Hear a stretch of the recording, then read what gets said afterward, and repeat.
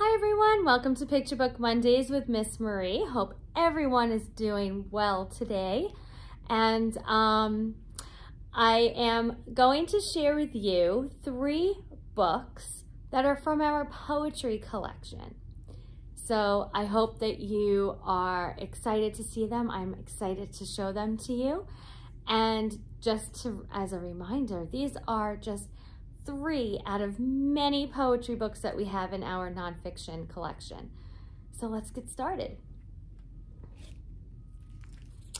Our first book that I'm sharing with you is Peaceful Pieces, Poems and Quilts About Peace. This book is written and also illustrated by Anna Grossnickle Hines, and it's published by Henry Holt and Company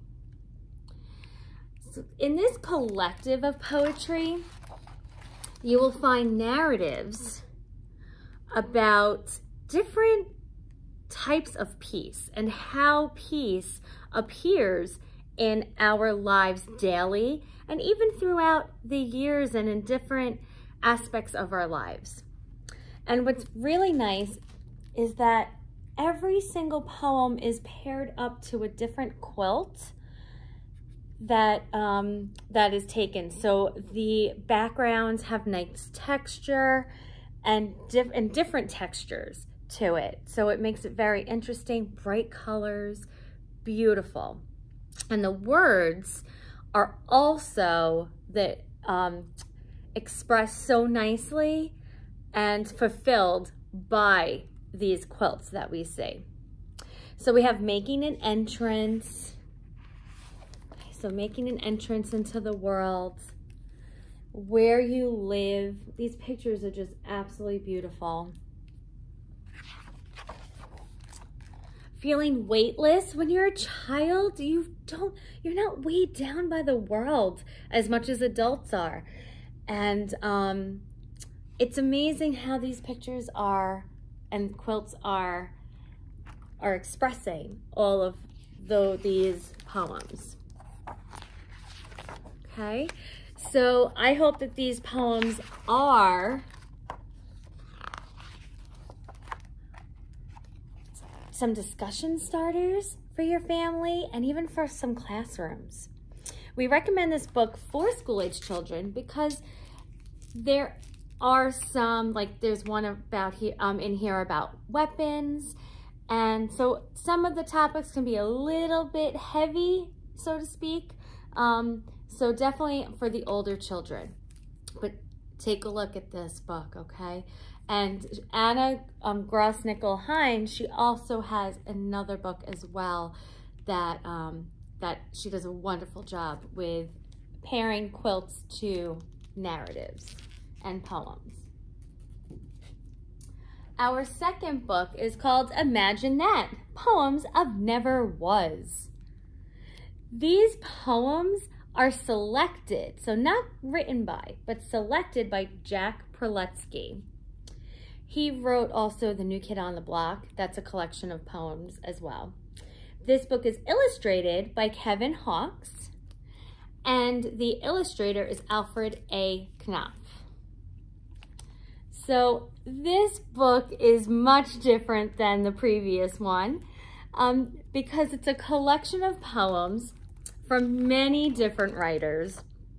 And they have you really expand your imagination and use your imagination because he brings monsters, machines, and different types of objects that are fun to build and fun to create, especially when you are a child.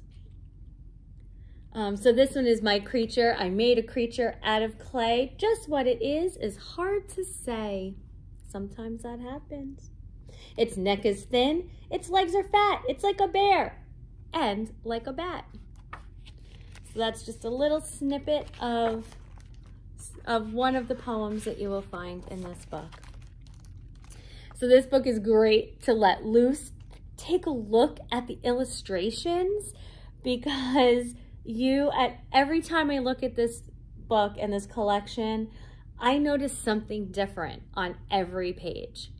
So wonderful, wonderful book to come in and check out and take a look at uh, with poems in it. Okay, our last book that I'm sharing with you is called Dear World. It is written and illustrated by Takayo Noda, and the publisher is Dial Books for Young Readers. As you can see, there are houses and stars and the sun and the moon, but then there are also houses floating because she wants you to use your imagination, right? And in here, she shows us through bright pictures, beautiful words, a world of beauty. She has you looking at the world throughout different seasons. She has you looking at the world through the eyes of children in her poetry.